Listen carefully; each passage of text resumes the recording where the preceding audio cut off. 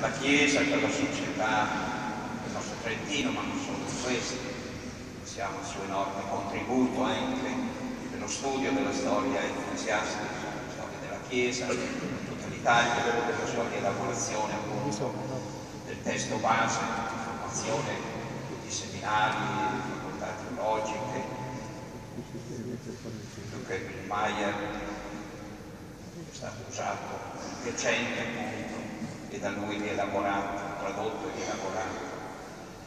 Oltre al suo contributo nella società civile, nel dialogo anche cultura germanica, cultura italiana, la sua passione per il rinnovamento della Chiesa, proprio lui storico, sì, perché della storia sapeva cogliere la tradizione migliore e non necessariamente le consuetudini più recenti, anche Tanti sarebbero gli omaggi che vorresti rendere, già incominciato la stampa, i mezzi di comunicazione sociale, iniziando il nostro settimanale da Trentina, quotidiani, radio, televisione. Certo, quella dignità che lui stesso ha sempre sostenuto nella liturgia, che obbliga a limitare queste espressioni, conservando il nostro cuore, pur potendo esprimere poi testi scritti. Pensavamo anche se accogliere tra i resti qui in questa cattedrale, meglio ha espresso il desiderio di essere sepolto nel suo Levico, che sempre amato.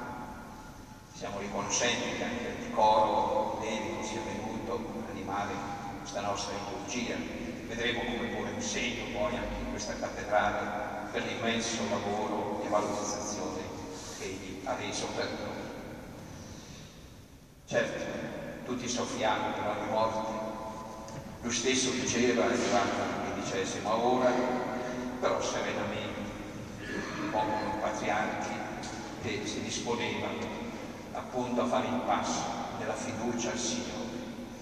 Siamo vicini alle due sorelle, cognati, tutti i nipoti, con profondo grazie per averlo sempre sostenuto, aiutato a essere a servizio di tutta la nostra Chiesa, il nostro popolo.